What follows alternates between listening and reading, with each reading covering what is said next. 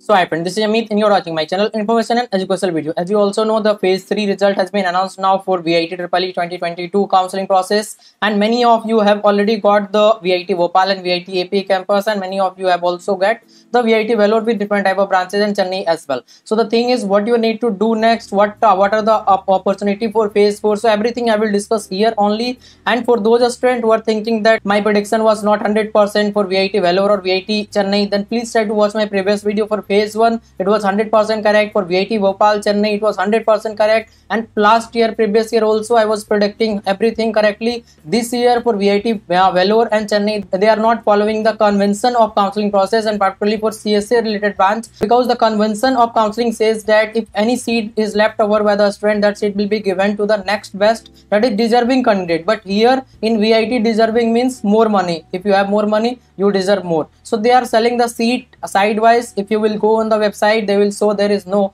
uh, management quota but internally they are selling the seat because you can also think how every student will accept the seat it is not iit even in iits also many students leave the seat to get better seat in the next round. So how every student are taking the admission in vit so there is something gone complete a scam with the student particularly for vit Vellore and vit chennai a student who are waiting for vit Vellore and chennai they have got the complete a scam from the vit and also in the ranking system they have done the scam and now also in the allotment. Many student ecm who will take the ecm branch means uh, i am not telling no one should take that uh, that is a very good branch but it is not as demandable as csc branch. So ecm is also a student are not getting Last year, up to 90,000 students have got the ECM branch, EC branch in Chennai campus. In Vellore, also up to 70, 75,000. But this year, how a student are not getting, I don't think it is. it is the true counseling. They are doing something wrong with the student. And you can take my previous video for VIT Bhopal, VIT AP.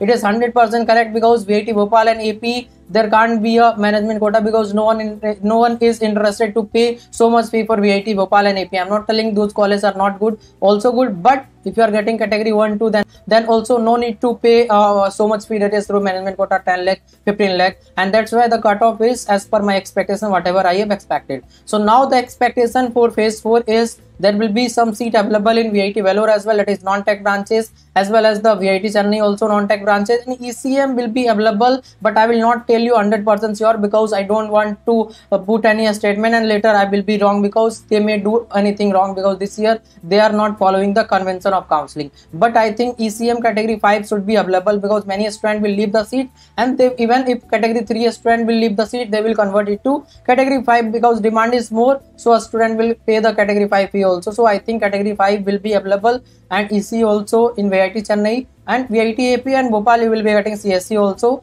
I think category 2 uh, uh, will be a starting category 1 i think almost filled so they may convert to category 2 because up to category 2 a student are interested. And CSE specialization you may get in category 1 also but do it very carefully. There are some new counselor in the market and they will provide you the information that you will not get. Sideways you can see that many students have provided me the uh, uh, message that uh, many other are telling you will not get VIT Bhopal category 1 VIT Bhopal category 2 and I said you will get because I am doing it from last 3 4 years. So you can expect this type of thing uh, whatever i have said in this video you will expect but this year they are not doing the true counseling. They have done a scam in uh, ranking as well as now in the counseling process also they are doing the same. So hope you get this information very useful for you. So once you got the seat that is if you have got any type of seat you have to pay the advance fee. If you will not pay your seat is cancelled no one will listen later. So once you pay the seat thereafter you have to pay the uh, balance fee and once you don't want to take admission that is suppose your result is better in JEE or any other examination you are getting good